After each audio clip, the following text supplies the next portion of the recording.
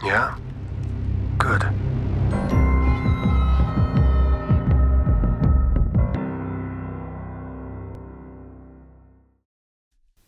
Bueno, bueno, bueno. Si el episodio pasado del Mandaloriano fue de mucha nostalgia, el episodio 6 llamado El prisionero ha sido de muchos cameos.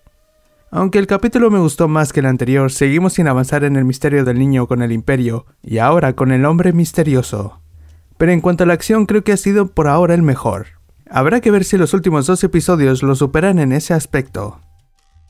Mando viaja a una estación médica de las guerras clon que ahora la usa Ransar Mac, interpretado por Mark Boone Jr., a quien reconoceréis por Batman Begins o Sons of Anarchy.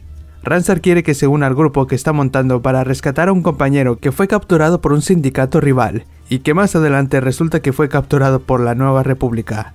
Al primero que presente es a Mayfell, interpretado por otro comediante llamado Bill Burr, quien resulta que sirvió en el Imperio como francotirador.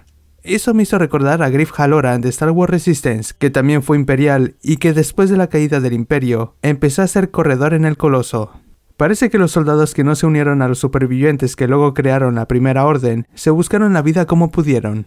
El siguiente es un debaroniano grande y fuerte, llamado Burg, interpretado por Clancy Brown, quien ya interpretó a Savage Opress en The Clone Wars y Ryder Asada en Rebels.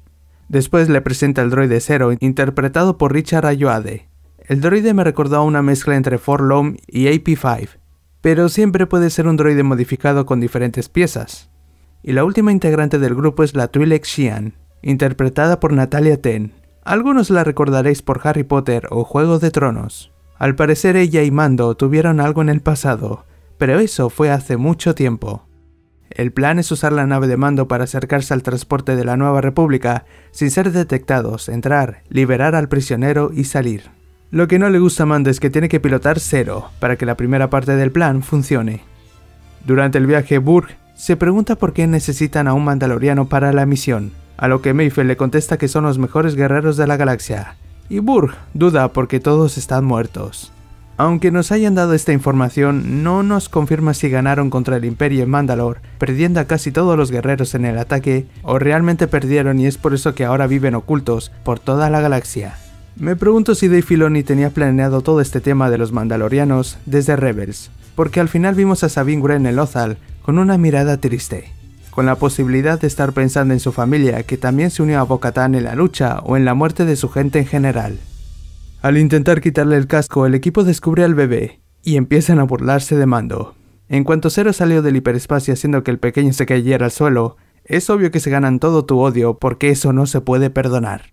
La parte en la que Mando descifra el código para abrir la escotilla, se puede ver como la Twi'lek le susurra a Mayfeld de forma malévola, con esto ya se sentía que algo no iba bien. Una vez dentro vieron prisioneros como un ardeniano y hasta un oficial imperial. Burg llamó la atención de los droides guardias de la Nueva República, que tiene sentido que no sean humanos tras la ley de desarme militar, y así no poner en peligro a la gente.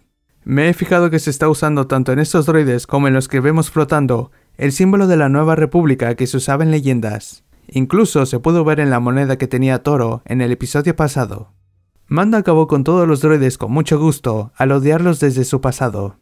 En el centro de control se encuentran con un guardia llamado Davan, interpretado por Matt Lanter, quien le puso la voz a Anakin Skywalker en The Clone Wars. Asustado, saca una baliza de seguimiento amenazando en activarla para llamar un rescate de la Nueva República. Tras una discusión, Xian acaba con el pobre soldado con una de sus dagas, haciendo que la baliza se active. Ahora tienen 20 minutos para liberar al compañero y escapar. Ya llegando a la celda, se revela que es Quinn, el hermano de Xian, y que todo fue una trampa para encerrar a Mando y vengarse tras haberlo dejado atrás en el pasado. Las señales estaban claras desde el principio. Creo que Mando habría podido perfectamente haberse quedado en la nave después de que Zero la acoplase en el transporte y de paso vigilar al bebé.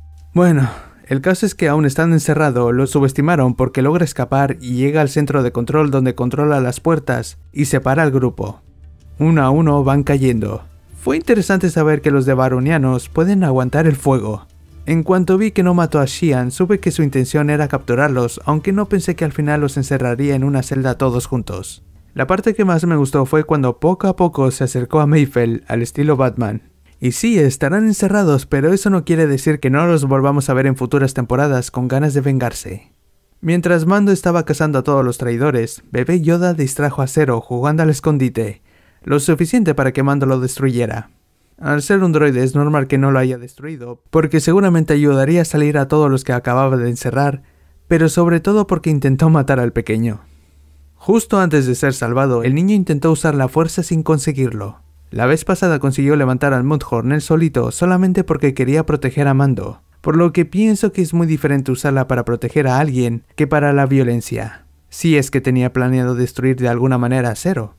Al regresar a la estación con Ransar, Mando le entrega a Queen y después de despegar, Ransar intenta aniquilarlo usando una nave que parece ser el mismo estilo de los Magnaguardias de Gribus. Pero Queen tiene la baliza de seguimiento, por lo que tres alas X de la Nueva República salen del hiperespacio para destruir la estación. Aquí el mejor cameo de todos el mismísimo Dave Filoni interpretando al piloto Trapper Wolf. Junto a esta leyenda se juntaron más directores, Rick Famuyiwa, el director de este episodio, como Jeep Dodger, y Deborah Chow, directora del tercer y séptimo episodio de esta serie y la directora de la serie de Obi-Wan como Sash Keeter. Justo antes de este ataque pude notar que Ransar sale corriendo, por lo que hay muchas posibilidades de que siga con vida. Y por último vemos al equipo que traicionó a Mando encerrado en el transporte de la Nueva República. Realmente quiero volver a verlos en el futuro, siendo mucho más peligrosos después de esta experiencia, y si Quinn también logró salir con vida del ataque, su hermana no va a estar muy contenta de que la dejara atrás. Y para acabar la review de este episodio, quiero anotar que todos los directores han hecho sus apariciones en la serie menos una. A Bryce Dallas Howard aún no la hemos visto hacer ningún cameo. Esto me hizo pensar en una de mis teorías locas.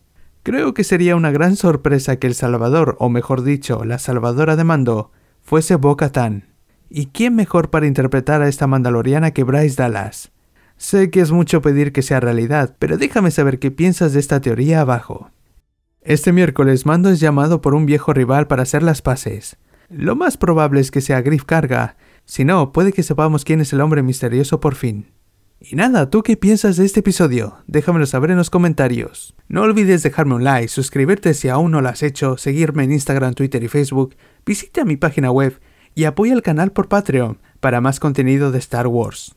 Yo soy Skynobi y nos vemos en el próximo video. May the Force be with you. Always.